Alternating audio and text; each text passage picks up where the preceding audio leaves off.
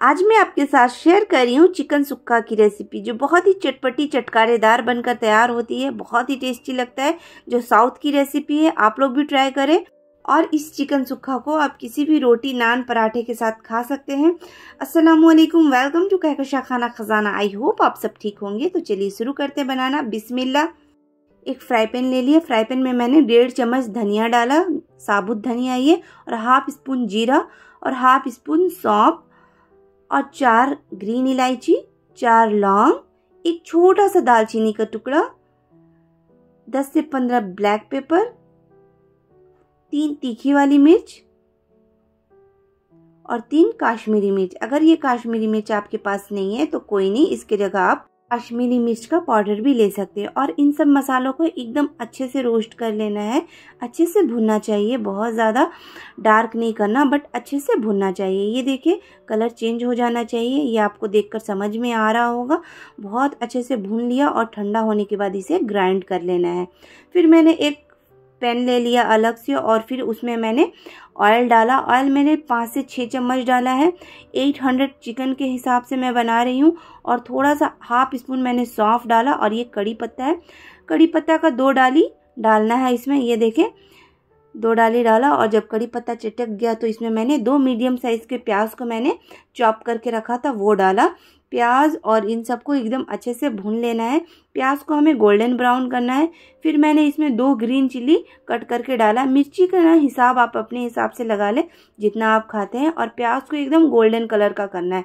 ध्यान रखें, प्याज एकदम अच्छे से गोल्डन कलर का हो गया। फिर मैंने इसमें एक चम्मच अदरक का और एक चम्मच लहसुन का डाला। अदरक लहसुन डालकर हल्का सा रोस्ट कर लेना है। ये देखें इस तरीके से हल्का सा मैंने भून लिया, अदरक, लहसुन डालकर। फिर अब मैं इसमें ऐड करूँगी चिकन। चिकन को मैंने पहले से ही धोकर साफ़ करके रखा था। 800 ग्राम मैंने चिकन लिया है और उसके हिसाब से ही सारा मेज़रमेंट है। अगर आप ज़्यादा बना रहे तो उसके हिसाब से आप ज़्यादा ले लें सब चीज़। और फिर मैंने एक चौथाई चम्मच हल्दी पाउडर और थोड़ा सा नमक। नमक आप अपने टेस्ट के हिसाब से ऐड कर लें, जितना आपको पसंद है। नमक, हल्दी डालने के बाद इसे अच्छे से भूनना है। पाँच से छः मिनट इसे हम हाई फ्लेम पे भुनेंगे। फ्लेम को लो ना करें हाई फ्लेम पे चिकन को अच्छे से भूनना है, ध्यान रखें। चिकन जितने अच्छे से अभी भुनेगा ना तो उतना अच्छा इसका फ्लेवर आता है, क्योंकि प्याज के साथ जब ये भुनता है और अदरक, लहसुन के साथ तो इसका जो थोड़ा स्मेल होता है, वो सब निकल जाता है। तो इस स्टेज पे भुनना बहुत ज़रूरी होता है। अदरक, लहसुन और प्याज के साथ फिर जो मैंने चिकन सुक्का का मसाला पीस कर रखा था ना वो डाला। सबसे मेन मसाला यही है तो ये मसाला ज़रूर ट्राई करें आप लोग भी और ज़रूर बनाएँ। ये देखें इस तरीके से मैंने डाला सारा मसाला और फिर अच्छे से मिक्स कर लेना है। मसाला डालने के बाद भी सेम भूनना होता है। मसाला डालने के बाद फ्लेम को लो कर ले। पहले तो हाई फ्लेम पे भूना, फिर फ्लेम को मसाला डालने के बाद लो कर लेना है। एकदम फ्लेम को लो कर लेना है। लो फ्लेम पे मसाला अच्छे से मिक्स होना चाहिए। ये देखिए बहुत आराम से मिक्स हो जाता है। बिल्कुल भी टाइम नहीं लगता। ये देखें सारा मसाला एकदम अच्छे से मिक्स हो गया। अब इसमें थोड़ा सा हम पानी ऐड करेंगे। पानी इतना ऐड करेंगे कि मसाला अच्छे से चारों तरफ़ फैल भी जाए और चिकन हमारा अच्छे से और थोड़ा कुक हो जाए। तो ये देखिए पानी मैंने डाला। पानी डालने के बाद अच्छे से चला लेना है। चलाने के बाद इसे ढक देना है। पाँच मिनट के लिए लो फ्लेम पे रखना है।